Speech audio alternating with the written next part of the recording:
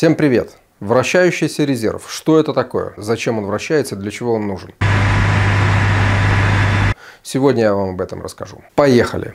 Итак, когда я говорю вращающийся резерв, я сразу же вспоминаю своего доцента из универа, а, на лекциях которого мы даже не пытались смотреть в окно, думать о девушках и весне, потому что он рассказывал так интересно, что мы слушали только его. А что сидишь, Не мог сказать раньше, пять минут. Я попытаюсь сегодня повторить его подвиг и рассказать вам интересно о довольно скучных вещах на серьезных щах. Да, это тоже фраза того препода. Так вот, вращающийся резерв в энергосистеме. Представим автобус и зададим ему необычное свойство. Автобус едет и не должен останавливаться. Едет он со скоростью 50 км в час. Да-да, вы помните, да. Скорость не меньше 50. Если вы снизите скорость, автобус взорвется. В автобусе есть несколько двигателей. Они соединены все между собой и крутят общий вал, который вращает колеса. В автобусе сидят пассажиры. Если автобус будет ехать быстрее, чем нужно, то будут выходить из строя двигатели. И он в конце концов разрушится и остановится. Если он будет ехать медленнее, чем 50 км в час, пассажиры будут терпеть убытки. Ну вот зададим ему такие свойства. Вот, вот так вот будет. Что у нас получается? Едет этот автобус, и вдруг внезапно выходит один из двигателей из строя. Чтобы сохранить прежнюю скорость, нужно либо поддать газку на оставшиеся двигатели, либо выкинуть кого-то из пассажиров из автобуса. Чтобы ему стало легче ехать, и он не снизил скорость при меньшем количестве двигателей. Есть еще вариант. Например, э, пассажирам организовать педальки и когда двигатель выходит из строя, они резко раз и на педальки подсели и, конечно, сохранили скорость. При этом не потерпели убытки и не вышли из строя оставшиеся двигатели. Ну, вот такая аналогия. Перерывчик. Шпору надо посмотреть. А теперь вернемся к энергосистеме. Она и есть наш автобус. В ней работает много энергоблоков, двигателей. Все они работают с частотой 50 Гц. Если же эту частоту превышать, то ну, скажу так, в общем, начнет выходить из строя оборудование тех же энергоблоков. Если частота будет снижаться, это тоже очень плохо.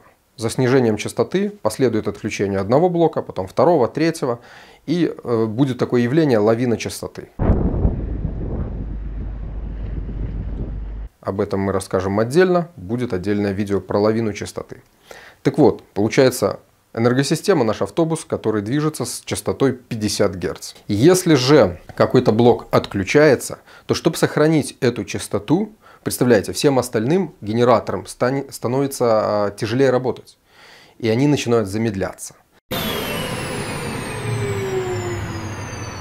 Так вот, чтобы они не замедлялись, в энергосистеме должен быть вращающийся резерв, то есть генератор, которые вращаются, просто им надо поддать газку как с нашим автобусом. И тогда частота 50 Гц будет постоянно и стабильно. Скорость не меньше 50 миль в час. Понял? Так вот, в энергосистеме нужно иметь вращающийся резерв, который в любой момент времени подхватит выбывший из строя генератор, и частота останется неизменной. А у зрителей возникает ряд вопросов. Почему этот резерв должен быть вращающимся? Ну почему нельзя держать э, в холодном резерве? Ну, например, остановлен энергоблок, стоит, понадобилось ввести его в работу, кнопку нажали, включили, все заработало, заискрило, пошел работать. Э, нет. За одну минуту, две-три не заискрить, не заработает. Для пуска энергоблока из холодного состояния нужно 6-8 часов. А, газотурбинные установки пускаются быстрее. Есть газопоршневые агрегаты, которые тоже быстрее. Мы их пока не трогаем. Мы говорим о классических энергоблоках тепловых электростанций. Чтобы их запустить, требуется большое время. Поэтому в качестве резерва холодного их можно держать, но нужен горячий резерв, вращающийся, который буквально за секунды, ну за минуты подхватит необходимую мощность и даст возможность не перегрузиться другим генератором. Резерв должен быть вращающимся. Возникает второй вопрос. Какой величины должен быть этот резерв? Здесь все просто. Согласно сложных теорий устойчивости энергетической системы, я вам выведу простой итог из этих всех теорий. Вращающийся резерв должен быть величиной а, равной мощности самого крупного энергоблока системы. Если у вас, например, куча электростанций. Среди них есть энергоблоки с единичной мощностью тоже 100, 200, 300 мегаватт или 500.